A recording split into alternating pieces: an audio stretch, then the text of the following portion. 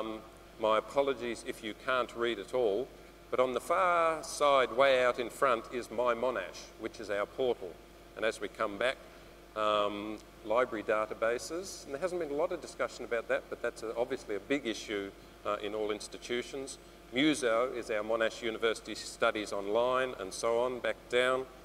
Um, there are others such as Interlearn, which is a, a, a small um, uh, web application that was developed by a colleague and I back in the late 90s. Um, uh, not exactly a full LMS, but certainly a, web-based interactive um, software tool. And there are whole lots of others, including podcasting, um, which is developing just so rapidly.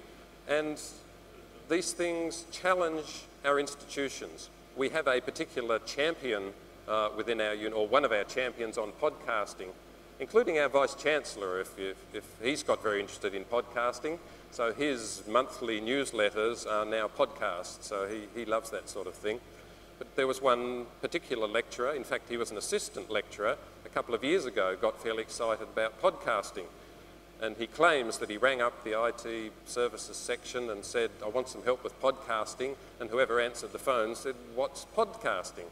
Um, so he did it himself. And he's an assistant lecturer in marketing, um, developed some podcasts, and they are very, very good. They're mounted on iTunes, um, so his students could go, visit them, download them, listen to them. And what he found is that over the couple of semesters or so that he was running it, he was getting a larger audience. So much so that now on iTunes, he has hit uh, the top 40 educational podcasting sites. So the challenge for him and for the university, how do we encourage such champions and such creativity? How do we support the development of podcasting at Monash? Okay, just getting back to our portal, for example, you can see the sort of scale that, we're, that, that we have to deal with. Um, we first built the portal back in 2000. It was released in 2001. I mean, most people have portals. I'm not going to look at it. But we don't talk much about them, but they are, in essence, as far as institutions are concerned, our primary online tool. And you can see by the usage um, with respect of our portal because it's convenient, it's useful, it's refreshed. Um, and students love it. It's convenient. It's relevant, it's adaptable. And you can see with respect to users, but at, at any one time, at any one moment, typically through the day, there will be three and a half to 4,000 uh, students on the portal. At the same time, our Monash University Studies Online, MUSO, um, at any one time will typically have two to two and a half um, but the overall usage, as you can see, uh, is, is very high. And the number of units, our units, for example, I'm talking about subjects here. So per semester, we're running about 1,800 units on Muso. So these are the challenges that we've had to respond to. Okay, I refer now, what, what else are we doing or have we done? Uh, remember this morning's slide about the room? Video conferencing. Back in the 1990s, late 1990s, our IT faculty set up a virtual tea room so that you, when you wandered into the tea room, there's the big screen like this, and you could sit there, enjoy your coffee. Um, essentially, we have two very large main campuses at Clayton and Caulfield. They are 15 kilometres apart, um, and so staff of that faculty were split, and they were able to, to ch chat to each other, have meetings, and seminars. Um, that's more the sort of morning tea idea. That was actually the grand opening where they had the ribbon to be cut both at one end and at the other end, and they cut it simultaneously. That was the Vice Chancellor at the time. Um, and just getting back, it was handy. Yes, it was a tea room, but it was also a good seminar room. And they ended up setting it up so that here's the front, and here's the people sitting down the back were actually at the other location. And I was talking to David Abraham, Abramson. Um, I talked to him about this, and he was saying he found right off the bat it worked really well. In his very first presentation, someone back here would put up their hand, and he was able to respond to queries. Now, I'd like to step to something else. Um, we've talked a lot about online technologies. Let's think about something that we have in our schools, in our universities, laboratories. Um, how is technology supporting um, teaching and learning in laboratories? We have a particular example at Monash that I believe is an exemplar, and it's not so much an exemplar because of the technology, but because of the underpinning and, and, and, and the background. This is truly pedagogically driven.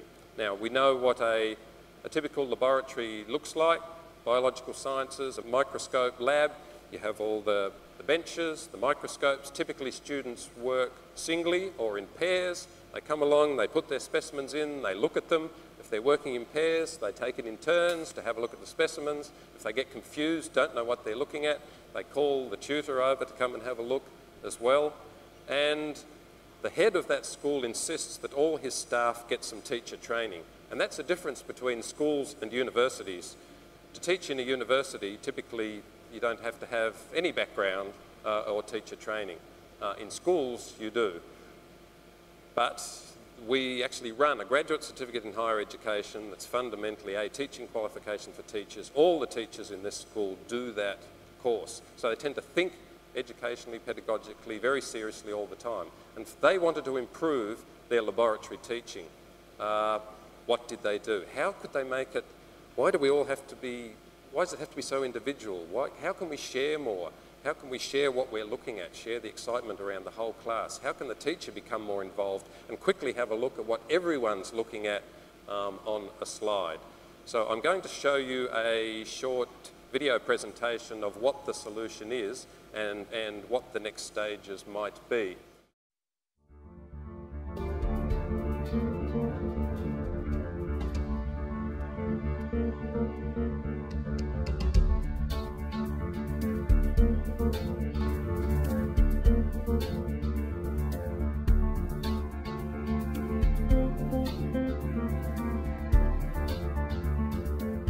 Image in a microscope is conventionally ephemeral. It is only there when being observed. Now we can capture, save, annotate, and incorporate it into other media. It is no longer just an image, it becomes knowledge. The system encourages collaborative learning among students because a big screen can accommodate a number of students around it as distinct from a single microscope, and they can interact with the material, the teacher, and other students.